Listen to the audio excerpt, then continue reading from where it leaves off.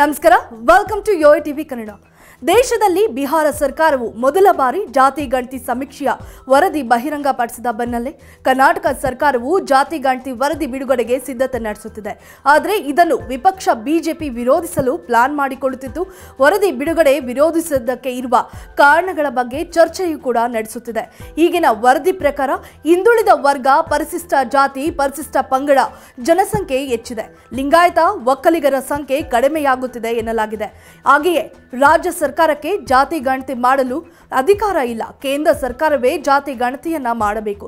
ಸಾಮಾಜಿಕ ಹಾಗೂ ಶೈಕ್ಷಣಿಕ ಸಮೀಕ್ಷೆ ಹೆಸರಿನಲ್ಲಿ ಜಾತಿ ಗಣತಿ ಮಾಡಲಾಗಿದೆ. ಆದರೆ ಸಾಮಾಜಿಕ ಮತ್ತು ಶೈಕ್ಷಣಿಕ ಸಮೀಕ್ಷೆಯು ಜಾತಿ ಗಣತಿ ಆಗುವುದಿಲ್ಲ. ಇದು ಇನ್ನು ನ್ಯಾಯಾಲಯದ ಮುಂದೆ ಬಾಕಿ ಇರುವ ಕಾರಣ. ರಾಜ್ಯ ಸರ್ಕಾರ ಬಿಡುಗಡೆ ಮಾಡಲು ಹೊರಟಿರುವುದು ಅವೈಜ್ಞಾನಿಕ ಎಂಬುದು ಬಿಜೆಪಿ ನಾಯಕರ ವಾದವಾಗಿದೆ. ಅಲ್ಲದೆ ಇದೇ ಕಾರಣಗಳನ್ನು ಮುಂದಿಟ್ಟುಕೊಂಡು ಜಾತಿ ಗಣತಿ ವರದಿ ಬಿಡುಗಡೆ ವಿರೋಧ ಮಾಡಲು ಬಿಜೆಪಿ ನಾಯಕರು ಲೆಕ್ಕಾಚಾರ ಹಾಕುತ್ತಿದ್ದಾರೆ. ಒಂದು ವೇಳೆ ಸರ್ಕಾರ ವರದಿ ಬಿಡುಗಡೆ ಮುಂದಾದರೆ ಪ್ರಶ್ನಿಸಲು ಚಿಂತನೆ ಕೂಡ ನಡೆಸಲಾಗಿದೆ. ಈ ಕುರಿತು ಮಾಜಿ ಸಿಎಂ ಮಾಜಿ ಸಚಿವರ ನಡುವೆ ಚರ್ಚೆ ನಡೆದಿದ್ದು, ಪಕ್ಷದ ವೇದಿಕೆಯಲ್ಲಿ ಇದನ್ನು ಪ್ರಸ್ತಾಪಿಸುವ ಬಗ್ಗೆ ಚಿಂತನೆ ಕೂಡ ನಡೆಸಿದ್ದಾರೆ. ಅಷ್ಟೇ ಅಲ್ಲ, ಜಾತಿ, ಗಣತಿ ವಿಚಾರವಾಗಿ ಮತ್ತೆ ಎಚ್ ಡಿ ಕುಮಾರಸ್ವಾಮಿ ಅವರತ್ತ ಬೊಟ್ಟು ಮಾಡಿದ್ದಾರೆ ಸಿಎಂ ಸಿದ್ದರಾಮಯ್ಯ.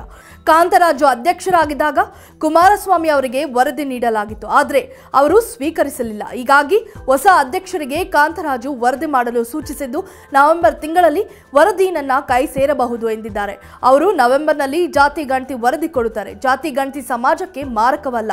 ಅದು ಸಮಾಜವನ್ನ ವಿಭಜಿಸುವುದೂ ಇಲ್ಲ. ಯಾವ ಸಮುದಾಯ ಎಷ್ಟಿದೆ ಎಂಬುದು ಅಂಕಿ ಅಂಶಗಳು ಸರ್ಕಾರಕ್ಕೆ ಬೇಕು. ಯೋಜನೆಗಳನ್ನು ಸಿದ್ಧಪಡಿಸಲು ಈ ಯೋಜನೆಗಳು ಅವಶ್ಯಕ.